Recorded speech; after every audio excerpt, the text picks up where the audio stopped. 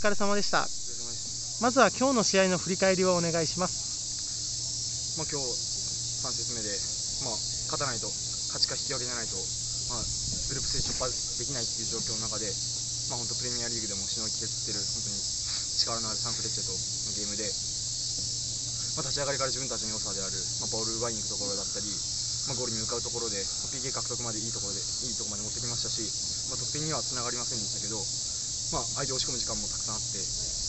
本当に前半は自分たちの思うようにゲーム進められたかなというふうに思っていて、まあ、でもその中でも決めきれないところだったり、まあ、本当に後半だったり、後半は特にですけど、まあ、トーンダウンした時に相手に押し込まれる時間が増えて、まあ、自分たちの良さ出せない時間も多くあったんで、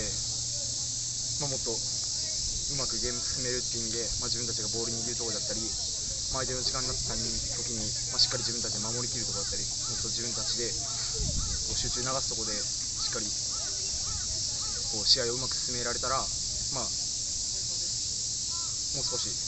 いいゲームできたかなと思うんですけど、まあ、最低限無失点で終えれたことと、まあ、グループステージ突破が決まったことが、まあ、一つ安心できたかなと思います。はい、ありがとうございます。えー見事グループリーグ突破して、えーノックアウトステージに進出しました。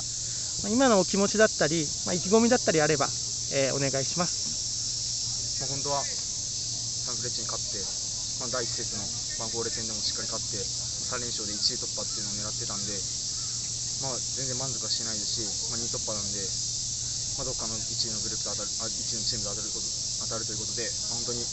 こからは本当に少しの予断も許されない本当にすごい厳しい戦いが続くと思うんで本当に一つ一つ最後シュート決めるところが